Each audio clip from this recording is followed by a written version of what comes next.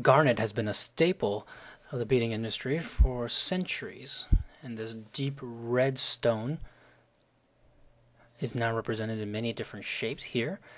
We have dozens of different shapes, so look in the order table below for all the details. Here you can see that the garnet beads are highly polished. They do have that deep, deep red color, and they are translucent, so depending on the light that it catches, you'll be able to see different colors. And due to the nature and the softness of garnet, there may be a couple of little dents on a few of these beads, but that's absolutely natural. And some of them may not be exactly perfectly circular, and that's also because of how soft and how irregular the chunks of garnet come as they are attached to other boulders.